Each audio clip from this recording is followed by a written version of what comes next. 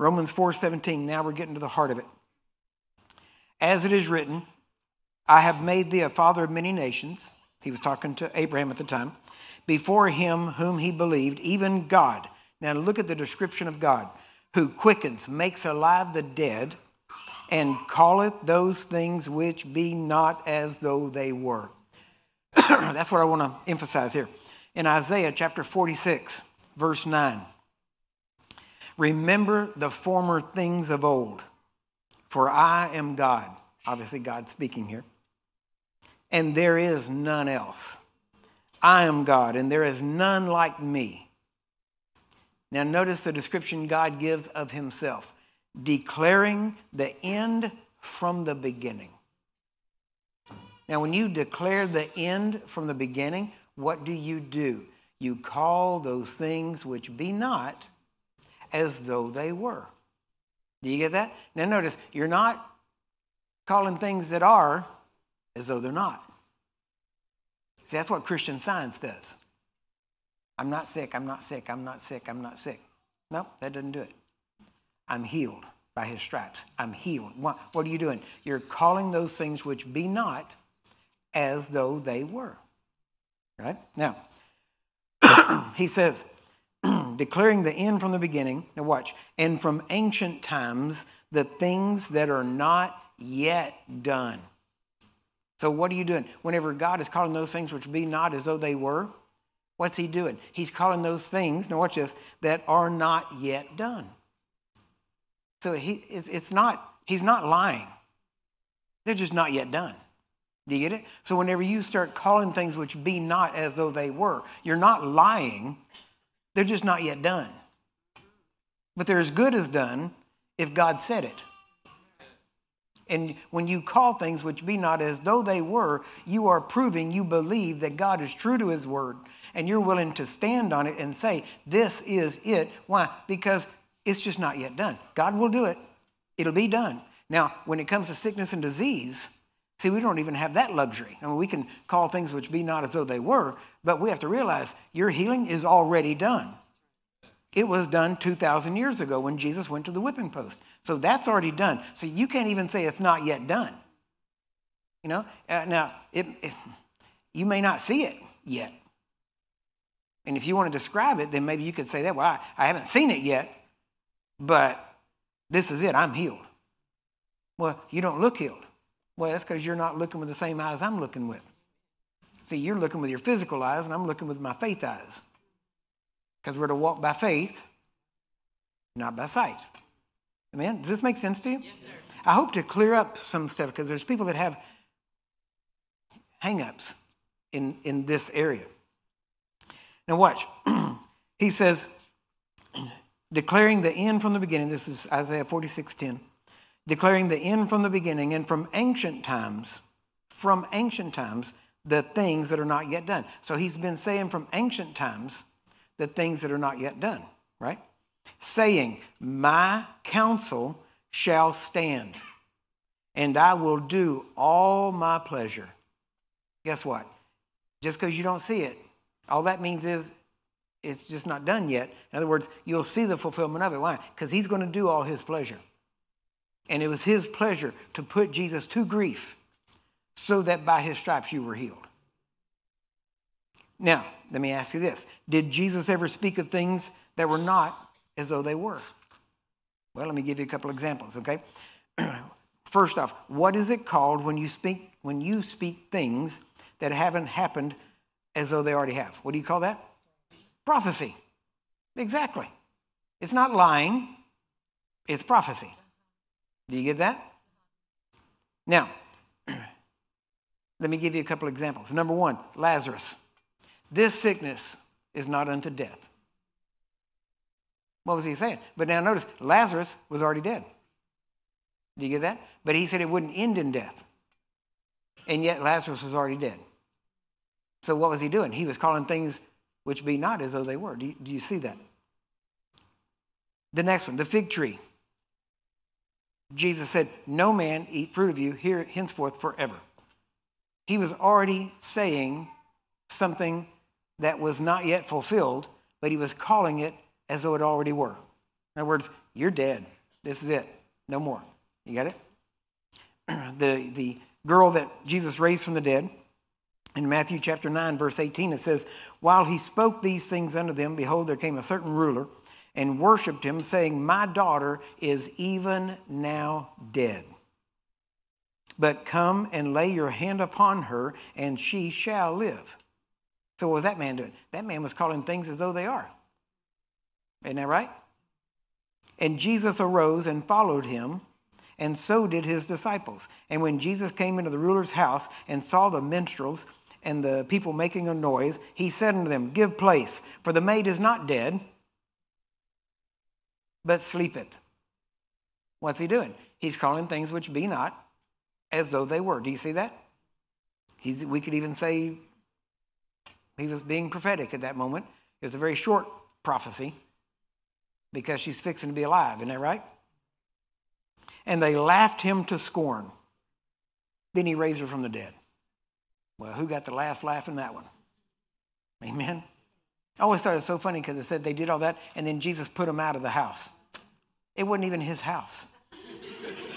and he still put them out. I, I love that part. it's like these people left their own house, or at least their relative's house, right? Or somebody there, and they left the house, and Jesus put them all out, and then he went to work, right? People say, well, see, he had to put out the unbelief. Really? Do you think people's unbelief is stronger than Jesus' faith? Come on. He didn't put him out because he couldn't do anything. It had nothing to do with that girl. The man had already said, if you come lay hands on her, she'll live. So it had nothing to do with unbelief of the people. It had to do with Jesus didn't want to put up with them. Ask me how I know. I've been there. I've done that. I put people out of a house. I was in Colorado one time. I put people out of their own house. Their own house, not their neighbors, not their friends, their own house. I told them go outside and wait. And I had, uh, I, yeah, I had a couple of guys with me. And I told them, I said, take them outside start talking to them. Do some, start, say, okay, here's how you do that. You start talking to them in the living room because the sick person's usually in the bedroom. So you, you gather everybody in the living room. You say, but listen, all right, he's going to tell you some things. And then you get that person to start talking to him. And while he's talking, he walks toward the door. and the people follow him.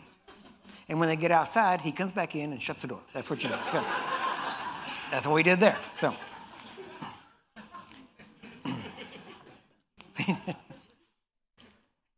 we know a few things because we've seen a few things, okay? so what can I say? Now, look at John 11. Now, a certain man was sick named Lazarus of Bethany, the town of Mary and, and her sister Martha.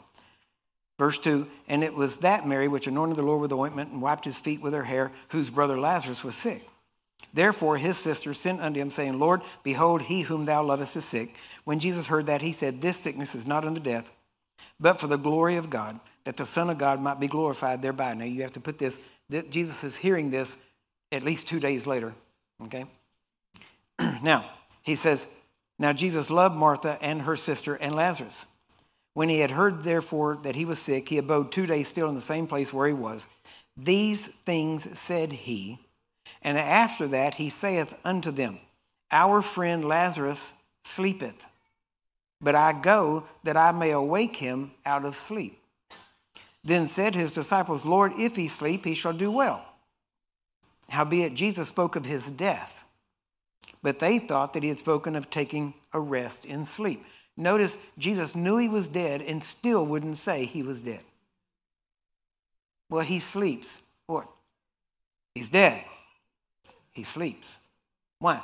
Because he wasn't going to agree with death. He agreed that he was going to go and wake him up. See, if you don't have faith, you will never understand somebody that does. Faith speaks in a way that normal people don't talk.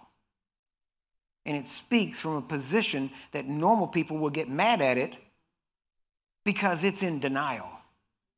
It refuses to be reasonable. Why? Because faith isn't reasonable. Power isn't reasonable. Miracles are not reasonable. Amen? Do you get this? And if you're going to walk in faith, you ain't going to be reasonable.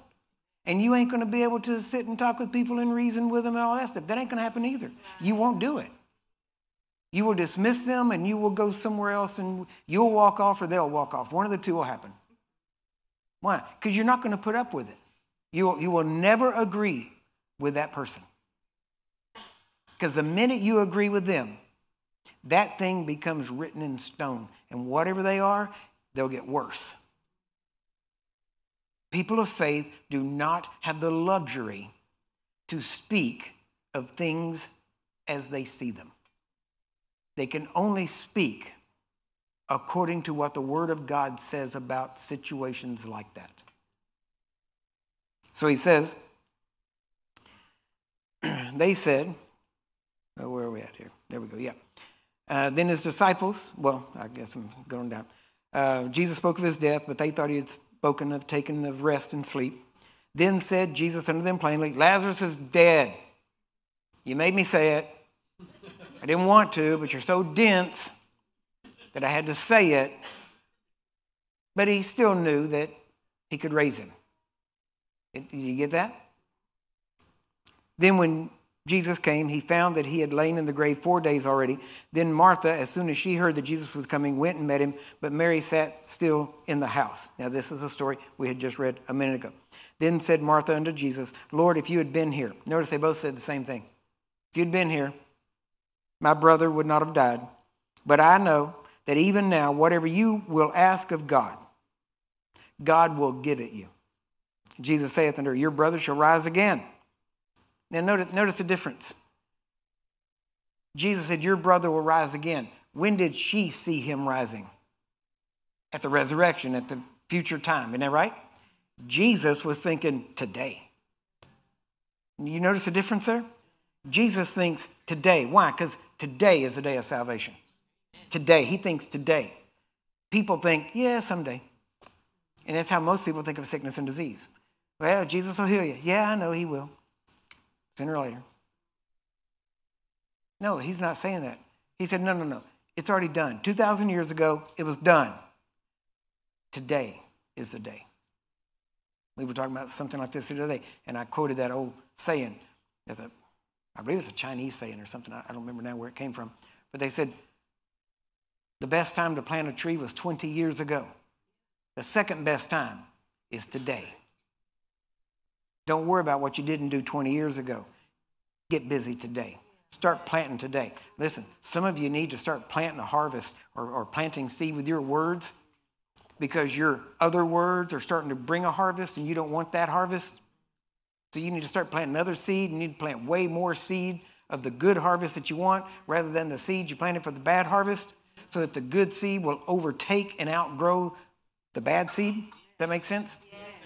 Some of you need to catch up on some things, right? Not just do it the same level. You need to catch up and go beyond it. You need to drown that old seed with new seed. So he said, Martha said unto him, I know that he'll rise again in the resurrection at the last day. Jesus said unto her, I am the resurrection and the life. He that believes in me, though he were dead, yet shall he live. When he had thus had spoken, he cried with a loud voice, Lazarus, come forth. Notice, no prayer. Command. And he that was dead came forth, bound hand and foot with grave clothes, and his face was bound about with a napkin. Jesus saith unto them, Loose him and let him go. Do you realize? Okay, I don't know if you know how they were buried, but they were wrapped like a mummy. Their legs weren't loose, they were tight and they were wrapped up. And he still had the napkin on his face where they lay because it was almost like a almost like a cocoon. And the only thing you could see was a person's face. And then they would put the napkin over the top of the face as the last thing before they when they put him in the grave. But this thing was almost like a plaster of Paris by the time they did all the stuff to it, it would have been almost like a cast. And here Lazarus is dead, and they usually had him on a like a bench off the ground. And so Jesus calls him forward, calls him out, and he stands up. and gets to the door, bound hand and foot. How do you move if you're bound hand and foot? The power of God moved him from where he was lying, stood him up, and moved him across the room, across the tomb, to the door, and he didn't even know where he was going because he still had the thing on his face. Now think about that. So you got to put yourself there and go through all this stuff to really see what happened. It wasn't that he just, oh, woke up and got up and, you know, moved over and wiped his face off and left it on there, you know, and just, it wasn't like that. So I'm finishing right now. but now notice, okay? You, what, what do you say? Well, you say this By his stripes I'm healed. Just say it with me. By his stripes, By his stripes I'm healed. I'm healed. What, now, what did you just do? You just called those things which be not as though they were. You didn't say, By his stripes I'm going to be healed. Why? Because that's not scripture. 1 Peter 2.24 doesn't say, By his stripes you shall be healed. It doesn't say that. He did not promise you that you shall be healed. He gave his word that by his stripes you were healed. He called those things which be not as though they were. You don't say, I'm not sick, I'm not sick, I'm not sick, right? That's calling things that are as though they're not. That's not Bible. What we say is, by his stripes I'm healed. That's calling things that are not as though they were. Now, just in case you think, well, that's lying. Okay, that shows what you believe. That, now, if you say that, but you don't believe it, in other words, if you say, by his stripes I'm healed, but you don't believe it, then you're lying. But if you believe it, you're not lying. Do you get that?